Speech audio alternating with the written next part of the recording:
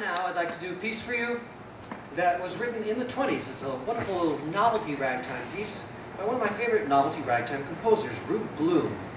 And he gave this the very romantic title of Silhouette.